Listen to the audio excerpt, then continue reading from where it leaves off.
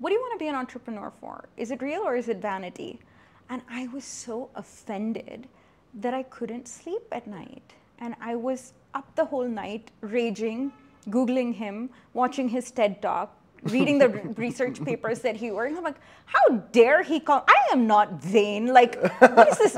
like, excuse me.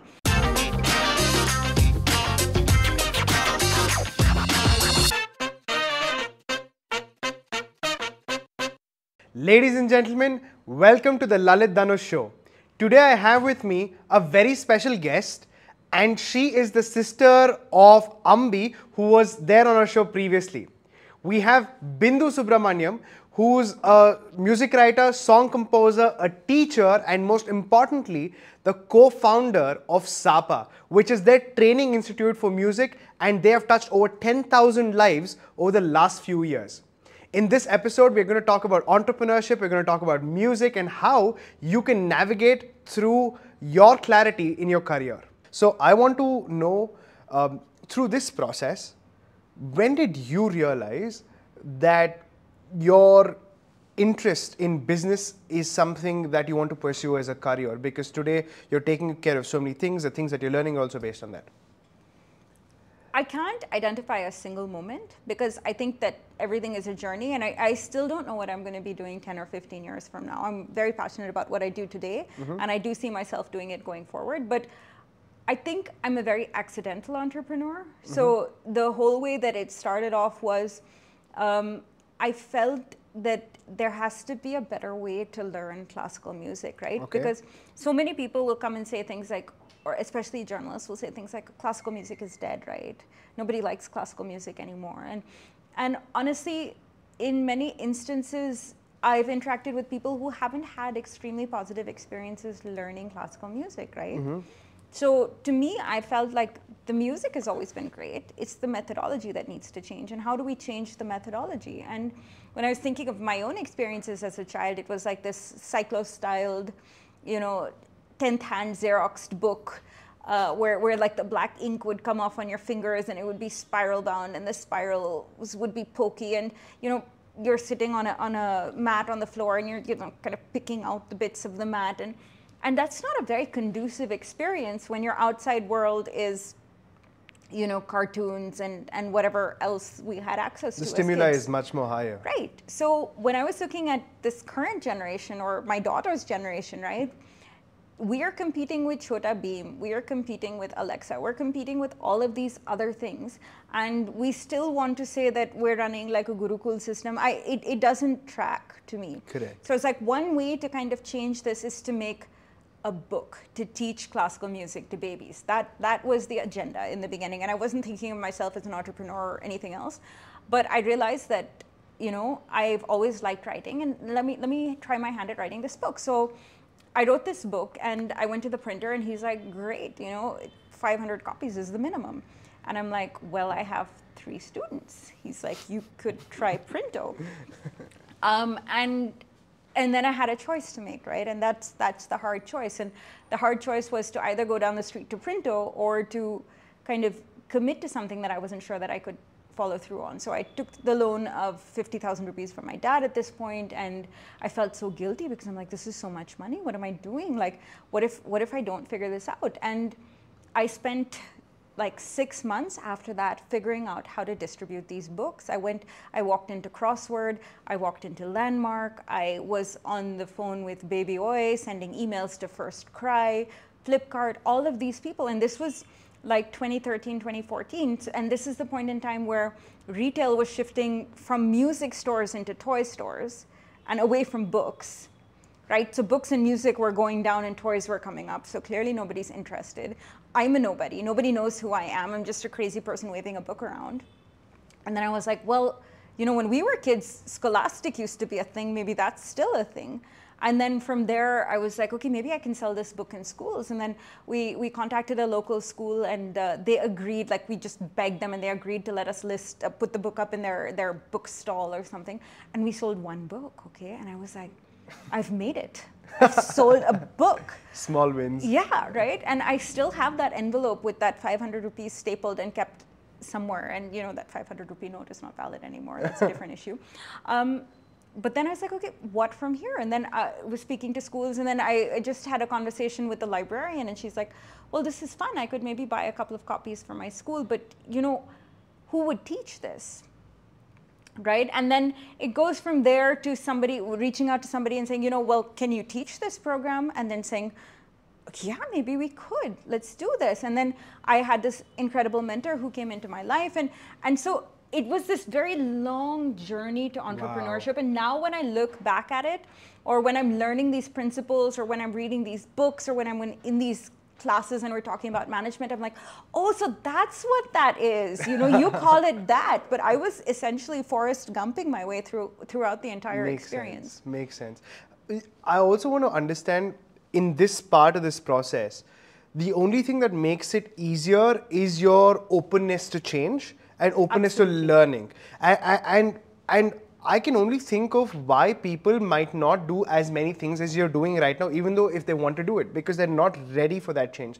The resistance to change is so high that first they got to understand why they're doing it, their why, and that opens up the doorway. And then in that process, they start learning things. Mm. Now, can you tell me what is the importance of upskilling, especially as an entrepreneur? Because entrepreneur is not just one skill, it is a set of skills which could be bettered and bettered over time.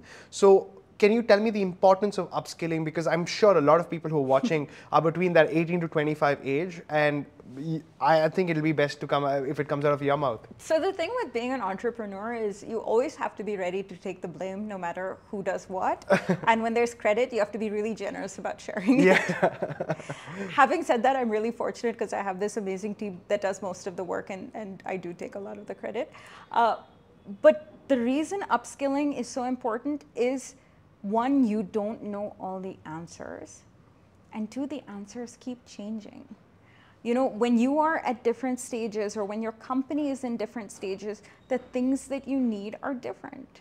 Absolutely. Right? So when you are getting something off the ground, you need to be the person who's doing the strategy and also mopping the floors.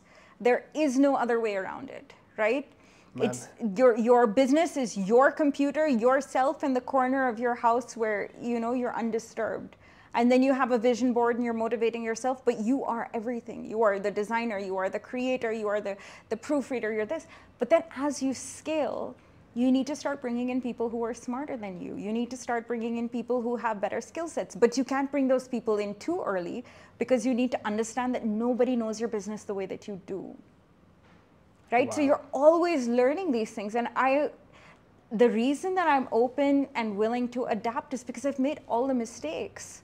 You know, you should never assume you're right. The moment you assume that you're right, you're going to get knocked out. Yeah, and you've never been wrong before. Like, I think that's yeah. the height of being wrong. Uh, there's a beautiful quote, I think, which Alan Watts says, says, he says, the moment you say that you don't know anything, then you can understand everything. Mm. But the moment you say, you know, uh, you know everything, that's the time you exactly know nothing. Yeah. So uh, I think it definitely does resonate. Can you also tell me how in this process some of your Stanford programs and the rest of your networking communities came into action and started helping you around? It's been a, it's it's been continuous. I've always been fortunate to be surrounded by people who are smarter than me, and I've always been fortunate uh, to be able to reach out to people for help or advice. And I think that comes from having a certain amount of humility. I know I don't know the answers, right? And I'm very honest about things that I don't know. So I'm able to reach out to people and be like, can, can you help me? Or, or, or what do you think? Or what are your perspectives? And, and whether it's people on the team or it's people from outside, I've learned so much. And wow throughout my journey, two things have been really critical. One has been mentorship, and the other has been network. And I used to think that networking was a dirty word because it was like the perception is, you know, you're out somewhere and you're just exchanging vis- visiting cards, and you're like, who's this guy? Like, can I measure my net worth in, in business cards? And that's not it, right? Networking is really about making meaningful connections with other people. 100%. Without an idea of what benefit can come from it. You're not networking for benefits. You're, you're meeting other people because there is a joy in that. You're talking to other people because there's so much to learn. And then if something comes from it, great. Correct. But it's it has its value in itself. So Absolutely. now if I look at my Stanford network, for example, I have friends that I learn from every day. One of my friends is the founder of Heads Up for Tails, the pet company, and they're game changing completely different from what we're doing. But when I sit and talk to her, I see parallels. So I joke and I say, what you're doing with pets, I'm doing with kids. Nice. Right? Because this overwhelming love for animals, I have this overwhelming love for children. Like, she wants to figure out how to make the world a better place for animals. I want to figure out how to make the world a better place for little kids. Wow. Where I have this other friend who's in medical technology, and I learned so much from him. I have another friend who's in data analytics, and and it's like stuff that I never had a clue about. But some of the some of the circumstances that we're in are so similar. You know, True. being an entrepreneur is, is generally a lonely journey, but if you have people that you surround yourself with, it's it's a lot more fun for sure. I'm sure. Uh, and I really like the part where you spoke about giving, right? I think net, be it for your friend who who's the CEO of Heads Up for Tails, or you in your academy, or even while networking, right? I think that's the point you told uh, you, brought about when you walk into a room filled with people. If you're looking to add value to their lives, then things will automatically start growing your way. It's like being a farmer, right? You're not a hunter here. You're not trying to gather things. You're trying to sow a seed, and that seed will turn into a plant and a tree, and possibly five or ten years down the uh, lane, it could give you its first set of uh, fruit, and then every season onwards from there, it's it's it's a great ride. And I believe. Um, that's the way of life. And, and, if you can walk into a room or a conversation being a giver, uh, it, it brings about a very spiritual aspect within you in the work you, you do and definitely the thoughts and values you carry along with yourself. Yeah, I think it's it's very deeply linked to a sense of purpose. Yeah. For me, giving back has been fundamental. I, it's something that I've learned from my parents as well. That this we are here to serve others, Can you tell me a little right? more? And so whether it is the outreach work that we do through SAPA, you know, we teach music to 8,000 kids free of cost, government Wow. schools, NGO schools, kids have scholarships at SAPA. Uh, or whether it's mentoring companies or individuals that I do on my own time or, or through the Stanford Network, or whether it's voluntary positions that I occupy um, with the Australia India Youth Dialogue or All India Management Association's Young Leaders Council, or even with the Stanford Seed Network itself, I think there is tremendous value in just showing up for other people Nice. and showing up to make the world better. So every time I meet somebody, my default is what connection can I make for them? Like how can how can you know if I see somebody fascinating here, who else can benefit from knowing this cool person?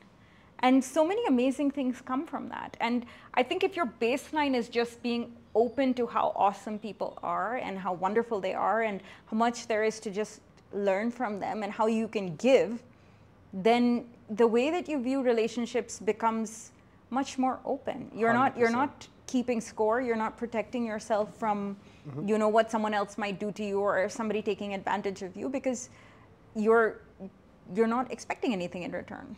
Very true. And I think uh, one of the people that, when I think about that line, one of the people that come into my mind are my mentors. And you spoke about it just a little bit earlier.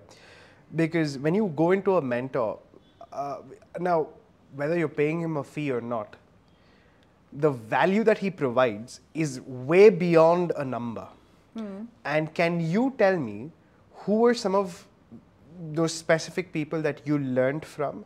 Uh, it need not be on a level of personal relationship. Maybe you just know their name and you got, and you had a lot of takeaways from them.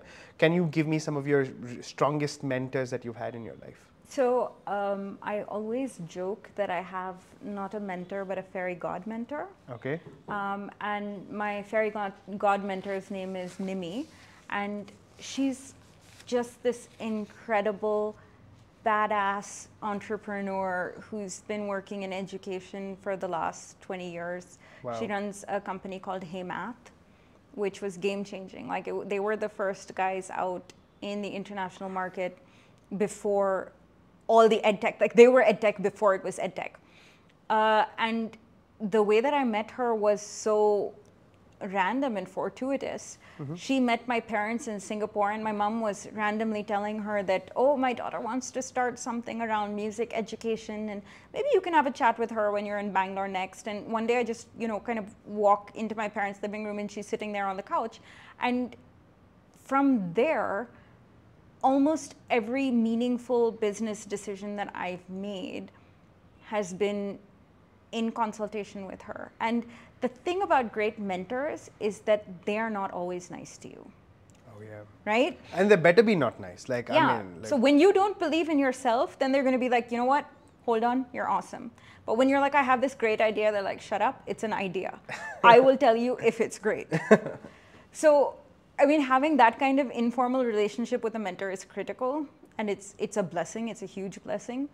Uh, and throughout, I've also found people that have inspired me greatly, like you've said, right? So there's this professor at uh, Stanford University called Baba Shiv, and the way he talks about neuroeconomics and how our brain responds to things is just incredible. Like I have had these conversations with him in terms of quantity of time it's probably been a few hours but in terms of the way that it's changed the way i perceive the word world it's been infinite right? Like once he just threw a sentence at me and he's like what do you want to be an entrepreneur for? Is it real or is it vanity?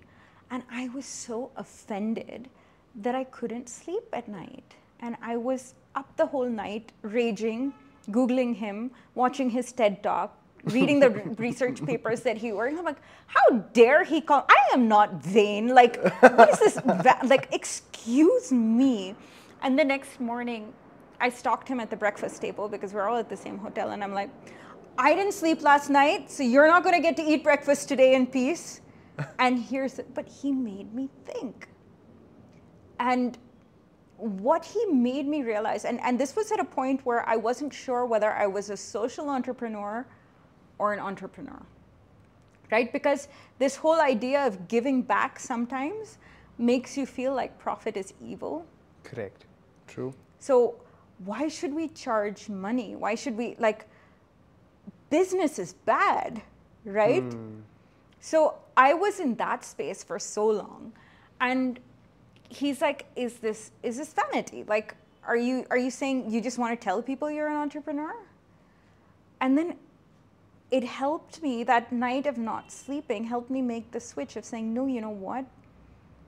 If i was vain i would just be working on my performance career to be on the cover of more magazines and to get more millions of views and to get a bollywood song or 10 because that to me is an easier route to fame.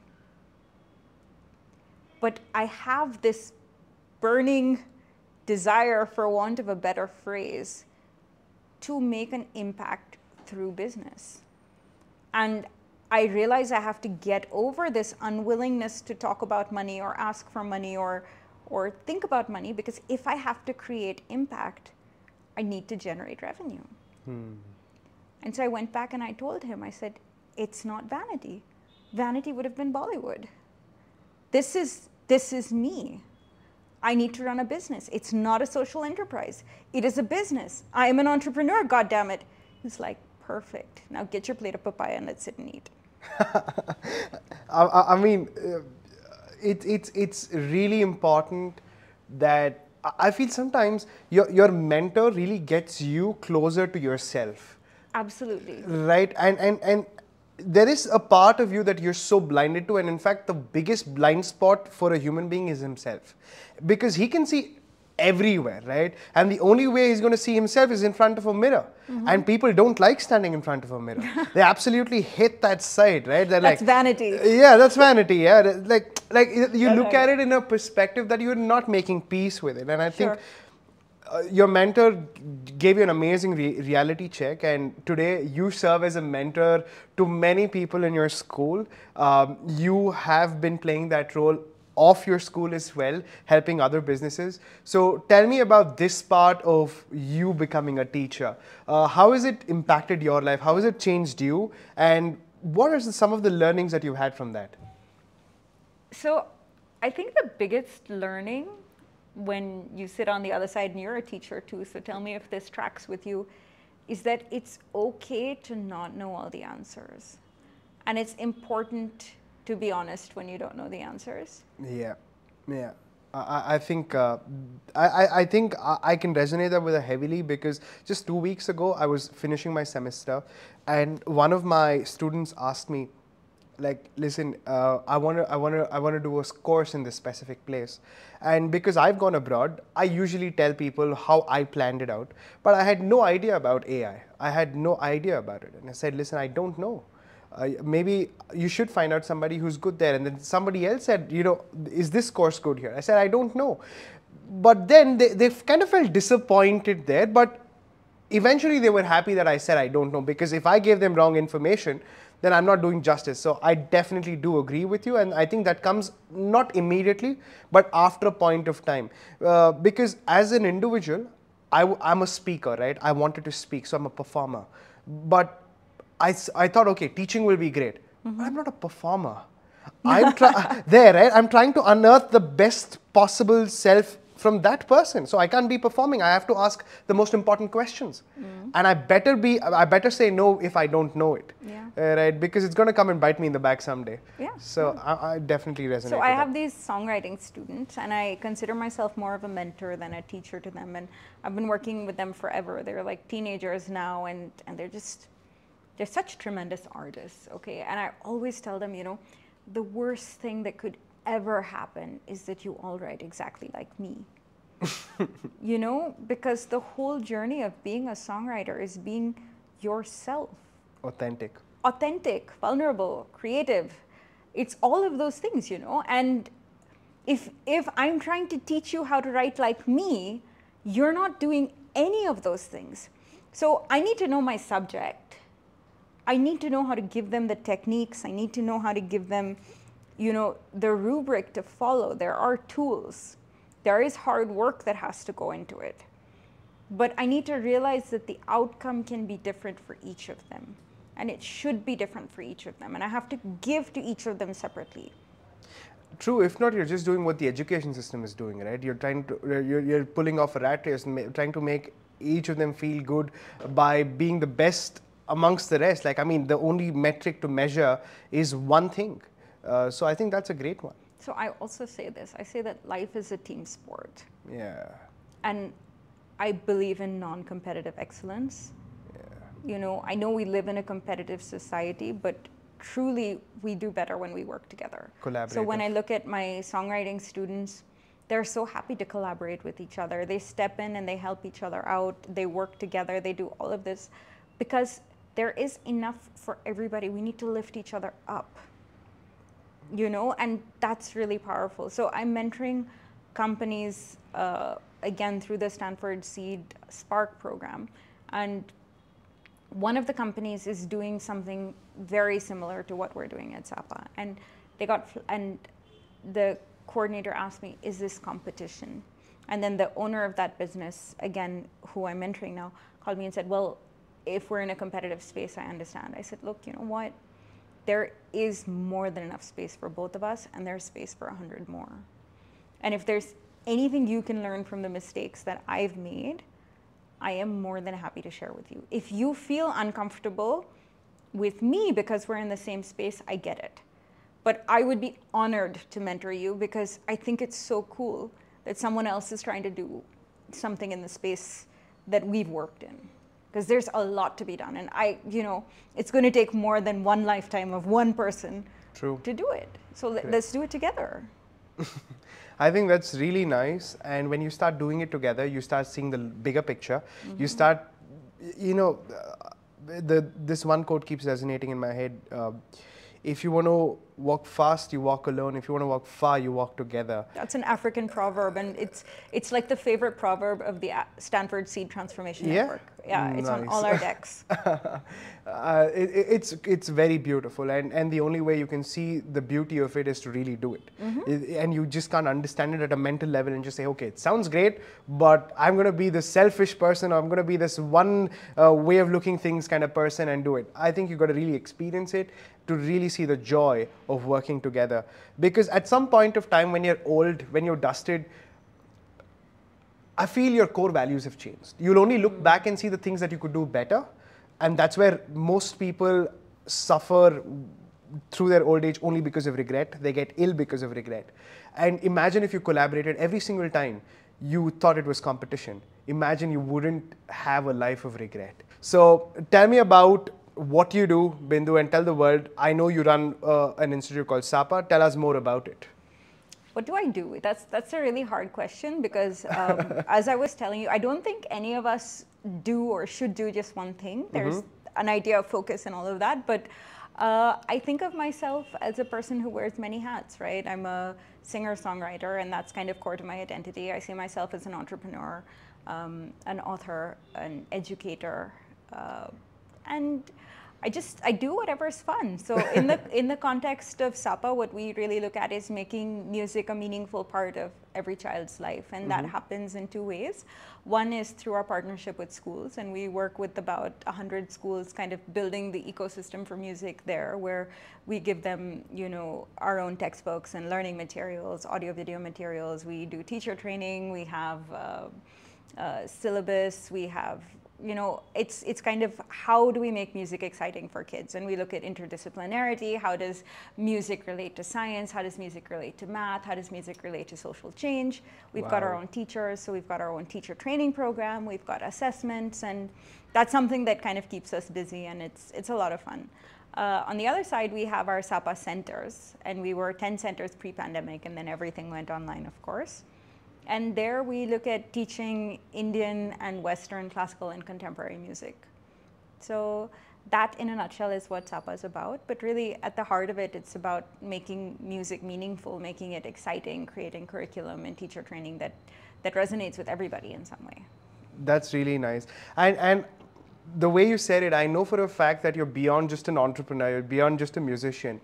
And many people today, especially the ones who've been there and made it successful, also have this one thought process saying the more you focus on one thing, the better you will get at it. Now, I want to ask you that same question because you're doing multiple things. And not just that, when we were speaking, you also told me that you have multiple educational qualifications as well, not just one or two degrees, but you have eight, right? Now, tell me, how do you run through this and what is your take on the same? So that whole 10,000 hours thing that exploded, and then if you look at Angela Duckworth talking about grit and all of that makes sense, right? I mean, I think that expertise is integral in whatever you do. So whatever you do, you need to work really hard at it and your hard work needs to be consistent. So hmm. I totally agree on that part. Where I think it doesn't fully cover it is I don't think we live in a society anymore where we do just one micro thing, right? So your 10,000 hours, yes, but they're divided into different things, or you are doing multiples of 10,000 hours, right? Yeah. So if I'm looking at degrees that I have, uh, I read too many John Grisham books as a child, so I thought it was really a very cool idea to be um, a corporate lawyer. I dressed up as a lawyer for Halloween, uh, and I, you know I tried to put candy in my briefcase and, and things like that. And then at the end of law school, I did these internships and things like that. I was like, you know what? I really don't want to be a lawyer. Like this is this is not what I was meant to do. Hmm. Um, but of course, since I had a bachelor's degree in law, I did the only logical thing, even though I didn't want to be a lawyer, and that was to get a master's degree in law, where I started looking at intellectual property. And then I was done with law, um, and I was like, what I really want to do is is songwriting and music business. So I did those, um, and then I was like, this is good, but I want to keep learning and. Uh, so I did a diploma in Montessori education uh, because I want to see how kids learn. I want to see how we can make learning more exciting for them. And then I did an MPhil in cultural studies. And the whole idea around that was, you know, what was the impact of Indians and Indian Americans on American pop music from the 1950s? Like wow. when we look at contemporary music, there's so much kind of culture behind it how much of it is exoticization how much of it is is you know real representation and so on and so forth and then you know, I was like, okay, let me do a PhD. And then I did a PhD in how to teach music to children uh, and developing new methodologies. And then I, I, finished that and I was like, you know what would be really cool? Like, I don't have an MBA. I feel like I'm an entrepreneur. I should have one of those things. And then I chanced upon this thing called the Stanford Seed Transformation Program, which is an amazing, incredible experience, and it was absolutely game changing for me. So I think that all of these things that I've done could seem extremely disjointed, and maybe when I was doing them, they were, but I feel like now they all make sense in the larger picture of who I am and, and, what I want to be. And I don't think I'm done learning yet, and I don't think I'm done reaching that point. Yeah. But it's a journey, and I think learning is a very important part of the journey throughout. So, yes, specialization, focus, 10,000 hours. But I think that's just a really great way of saying don't be distracted. Hmm. Find your place for deep work, right? This deep work theory is like, okay, so when you're writing, you are only writing. Correct. When Correct. you're teaching, you are only teaching. 100%. Like if you look at somebody like Adam Grant, for example, right? The man is unequivocally regarded as a genius, right? But he's a thinker, he's an educator, he's a writer, he's a speaker, he's so many different things. Hmm. But what he does is he doesn't parallel process them as much as possible. Correct. So I think I think there are ways to reconcile this idea of hard work and focus with the ability to do more than one thing. I think that does make a lot of sense because today, especially, even if you scheme this down to a very normal, usual person who wants to apply for a corporate job. I'm a normal, usual person. no, no, no, doubt about he that. He called me abnormal. no, I'm just saying, at the end of it, if, even if, okay, let's put it this way, like if people are really clueless and the only thing that comes to my, their mind is a corporate job, mm-hmm. and I'm sure the person who's trying to um, hire them is looking for somebody who could do more than just one thing, right? For example, if you're a good video editor, you better know a little bit of digital marketing as well because sure. So that goes hand in hand. Um, or if you're really good at content, you you could also understand design a little more. Yeah. Because it, it, it, it's a it's a process where things go hand in hand, and li- like you said, it, it might not make sense learning too many things at that moment but like steve jobs says if you if you can connect the dots looking backwards it yeah. does make all the sense in the world right i mean he clearly wasn't thinking about fonts when he did the calligraphy course 100% right? true but at some point it will all make sense or it should all make sense if yeah, you're not living yeah. your life in these silos so i think when you with the, with the example that you gave in a corporate job it's about looking beyond your you know, your input is one single cog in the wheel. Correct. How am I contributing to the larger picture? Or what do I want the larger picture to be? Absolutely. I think it makes a lot of sense. And I want to really pick your brains on this because I've had a lot of guests on my episode, but nobody uh, who's who, who's done multiple things and done so much amount of searching to understand what they really want to do. Some of them were born artists, like you know, they, from the minute they touched the like you like let's say your brother, you know, from three years onwards, he was just on the flute. I'm not saying he doesn't know anything else, but I'm just saying now it opens your doors to learn a lot of more things. And I think on that note, uh, I want to ask you my last question for this interview. Uh, it's a very corporate job uh, interviewer question. Oh no! where, where, do you see yourself in the next five to ten years? What do you want to be doing? I have no idea what my title would be, or you know how I'm going to get there. I cannot promise that there will be no more degrees along the way, because uh, I always want to learn. In five to ten years, I see myself bringing joy to people. My personal vision statement, if I may, is that every person that I come across should feel loved. I know that hmm. sounds crazy cheesy. No, no, no. I know it does. I, no, no, no, but like at, at some point, it, it sounds like really, you know, unicorns and butterflies and all of that. So I don't know how I'm going to reach that. But my why for being on this planet is to make people feel loved and awesome. to make people feel valued. So 10 years from now, I don't think that is going to change. Yeah. The chair that I'm sitting in might change. The way that I create this impact might change. But this is the purpose that I see for myself.